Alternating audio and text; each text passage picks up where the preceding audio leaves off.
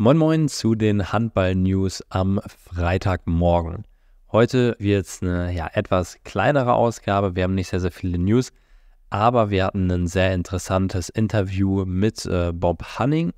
Das, äh, ja, da, da werden wir ein bisschen drauf eingehen, der zum einen auf Alfred Gislason geantwortet hat, aber auch nochmal über ähm, das Team Deutschland gesprochen hat, das einmal mit äh, Potsdam angedacht war und das über das Jahrzehnt des Handballs. Also, was hat Bob Hanning an Gislason geantwortet? Wir hatten ja gestern in der Folge, habe ich das äh, schon, war es Thema, dass Gislason gesagt hat, dass Bob Hanning Eigeninteresse verfolgt, ähm, von wegen, dass er seine jungen Spieler, also Bob Hanning ist ja bei, bei den Füchsen aktiv und bei Potsdam, dass er seine jungen Spieler mehr in den Fokus rücken möchte, damit die mehr Spielanteile in der Nationalmannschaft bekommen. Und äh, damit wurde Bob jetzt ähm, ja, konfrontiert und er hat da aus meiner Ansicht sehr, sehr schlau geantwortet. Ich bin mir noch nicht ganz schlüssig, auf wessen Seite ich da zu 100% bin. Ähm, aber auf jeden Fall mit diesem, in diesem einen Punkt äh, stimme ich mit Bob komplett überein. Er hat gesagt, dass ähm, in dem Spiel, wo Kai Häfner gefehlt hat, da hat Renas, ähm, also Renas Ustschins, Ustschins oder Uskins, ich weiß es wirklich nicht, der hat dadurch ja erst seine, seine wirklichen Einsatzzeiten bekommen. Also viele Einsatzzeiten über einen Großteil des Spiels. Und dadurch haben wir erst gesehen, wie gut er wirklich war. Leute, die ihn schon kennen und auch die U21 äh, verfolgt haben, die wissen das ja sowieso. Aber da hat er sich zum ersten Mal wirklich auf internationaler Bühne der wirklich der A-Mannschaft, der Senioren hat er sich gezeigt und wurde da dann wirklich von Minute zu Minute besser. Und auch im letzten Spiel gegen die Schweden hat er dann super, super gespielt. Und ja, da geht es so ein bisschen darum, warum muss jetzt erst ein Kai Häfner aus privaten Gründen fehlen, damit ein so talentierter Spieler die Chance kriegt, sich zu zeigen. Und das Gleiche, ja, Nils Lichtlein spielt bei den Füchsen, er spielt bei Bob Hanning. Aber auch wenn Nils Lichtlein bei GWD spielen würde oder beim THW Kiel, würde ich ihm da 100% zustimmen.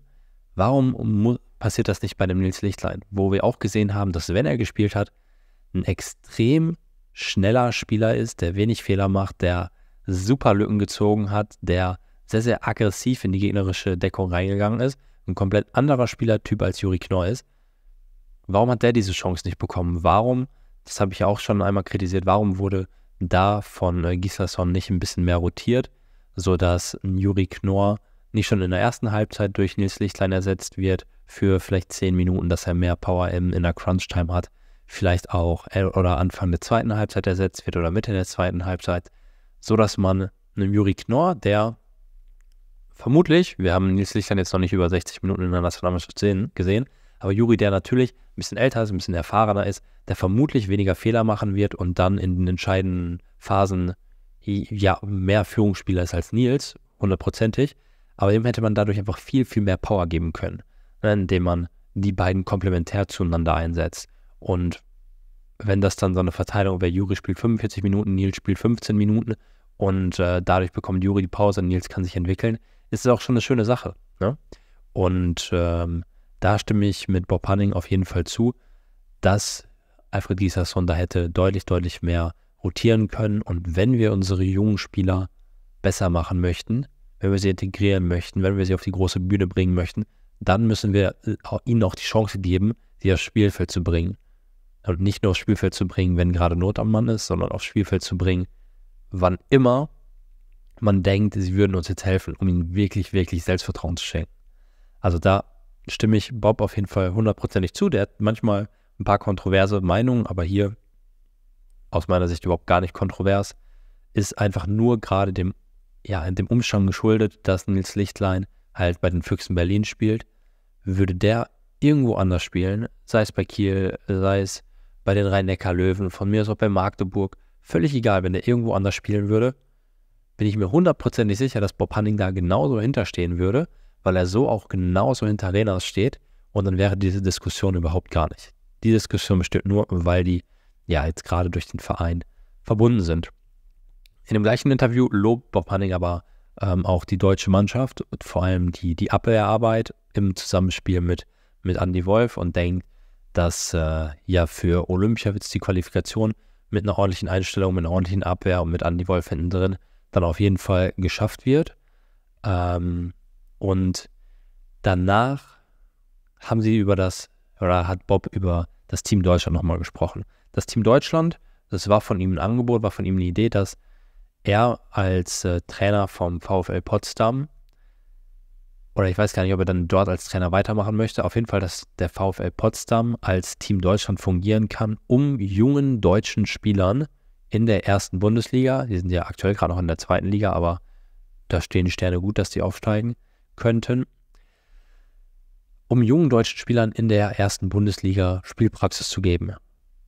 Vereine wie der THW Kiel, wie die Füchse, die das punktuell schon sehr, sehr gut hinkriegen, wie Magdeburg oder Flensburg, die können jungen Spielern nicht unbedingt die Einsatzzeiten geben, die sie, die sie verdienen oder die sie brauchen, um sich weiterzuentwickeln, weil da einfach, ja, da stehen Sponsoren hinter, die erwarten, dass man international spielt. Da stehen Sponsoren hinter, die erwarten, dass man in der Champions League spielt, dass man um die Meisterschaft mitspielt da muss die Leistung einfach stimmen und da hat man ein bisschen weniger die Möglichkeit, weniger die Geduld, ähm, jungen Spielern halt sehr, sehr viele Fehler zugestehen. Und das ist einfach der Vorteil von Mittelfeldsmannschaften, sage ich mal, wozu dann Potsdam vermutlich gehören würde, die hundertprozentig auf diese jungen Spieler setzen können, die so viele Fehler machen können, wie sie möchten, die einfach nach und nach immer und immer und immer besser werden. Und dieses Team Deutschland, das äh, hatte ich auch schon mal drüber, oder ich hatte, als die Portugiesen mit ähm, so gut waren vor einigen Jahren, weil fast alle Spieler in Porto gespielt haben, die super eingespielt war, da ich schon, hey, wieso machen wir das bei uns denn nicht? Es gibt so, oder eigentlich alle unserer ähm, Nationalspieler spielen sowieso in der deutschen Liga, außer Andy Wolf und damals Uwe Gensheimer. Warum kriegt man es da nicht hin, die irgendwo zu bündeln? Ähm, bei einem vernünftigen Trainer, den man dann gleichzeitig von mir aus auch noch Nationaltrainer machen kann, und dann hat man einfach, ja, man spielt in der stärksten Liga der Welt, man hat super viele Spiele, man hat diese Zusatzbelastungen, die andere Nationen vielleicht nicht haben, wenn sie nicht in der Bundesliga spielen. Aber dadurch hat man einfach die extreme Qualität, kann die super einspielen und wird, glaube ich, zu sehr, sehr viel Erfolg bringen. Der Ansatz von Papanik ist ein bisschen anders, sondern da geht es um die Ausbildung der Jugendspieler, also quasi der Nachwuchs für die Nationalmannschaft. Aber auch daher gibt es aus meiner Sicht sehr, sehr Sinn. Und fände ich einfach cool, wenn so eine Idee weiter, weiter verfolgt, verfolgt wird. Und da kann ich auch gar nicht verstehen, oder noch hat sich der DHB jetzt noch nicht hundertprozentig zu geäußert, aber ich könnte nicht verstehen, was da der DHB gegen haben könnte oder auch die Handball-Bundesliga, wenn man das unter so einem Verein wie Potsdam macht und ähm, ja dann mit Vereinen, mit anderen Vereinen Kooperationen übernimmt, dass man die Jungspieler, die deutschen Jungspieler mal für zwei Jahre nach dort ausleiht, und dann wieder zurückkommen etc. Also das fände ich, fänd ich sehr, sehr cool. Ja, das so war ein sehr, sehr interessantes Interview von Sport 1 mit Bob Hanning. Ähm, ja, das, äh, das so zu diesem Thema. Ähm, und dann würde ich sagen, kommen wir in ein paar kleine, kleine News. Und zwar haben wir einen Transfer von einem Ex-Nationalspieler, und zwar Silvio Heinevetter.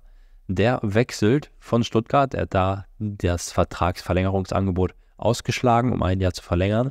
Der wechselt nach Eisenach und bezeichnet es auch so zurück in seine Heimat, wo er als Kind die Spiele geschaut hat. Und ja, gibt es einfach ein klares Statement mit Eisenach, ähm, zwei Jahre weiterzumachen, egal ob sie die Liga halten oder absteigen. Und äh, das ist auf jeden Fall ein ganz, ganz interessanter Schachzug. Und ja, da hoffe ich mal, dass Eisenach in der, in der ersten Liga bleibt, dass wir Silvio auch weiter in der ersten Liga sehen.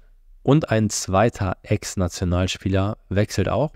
Und zwar geht es um Bastian Roschek. Der geht jetzt gerade einmal bis Saisonende runter in die dritte Liga zu äh, nach Krefeld. Die Meldung habe ich mit reingenommen, weil ja in der dritten Liga bin ich sehr, sehr interessiert. Mein Heimatverein Tuschbenge spielt dort mit in der dritten Liga, der jetzt äh, gegen sie auflaufen wird. Das heißt, Bastian Roschek holt sich jetzt nach Verletzungspause dort ein bisschen Spielpraxis, unterstützt den Drittligisten, kann da sicherlich in der Abwehr sehr, sehr, sehr gut helfen und im Angriff, ja, vermute ich auch seine Akzente setzen, ähm, aber vermutlich eher in der Abwehr. Und ja, der, der hilft Krefeld jetzt äh, bei der Erreichung der Ziele und kommt dann vermutlich danach wieder in die erste Liga. Außer vielleicht steigt Krefeld ja auf durch irgendein Wunder und dann kann er da in der zweiten Liga weiterspielen. Das werden wir sehen. Aber erstmal geht Bastian Roschek jetzt erstmal zwei Ligen drunter Und eventuell werde ich den auch mal dann im Spiel gegen Spenge sehen. Und das waren auch schon hier jetzt die ganz, ganz schnellen News am Freitagmorgen. Viel mehr gibt es nicht zu erzählen. Ähm, das Interview mit Bob Hunning war super interessant. Das verlinke ich euch auch gerne einmal hier unter dem Podcast, falls ihr euch das selber noch einmal durchlesen möchtet. Und damit würde ich sagen, macht euch einen schönen Freitag, schönes Wochenende. Samstag, Sonntag kommen keine News. Da mache ich Pause. Aber Montagmorgen gibt es wieder schöne Handball-News zum auf dem Weg zur Arbeit hören oder was auch immer du Montagmorgens machst. Ciao, ciao.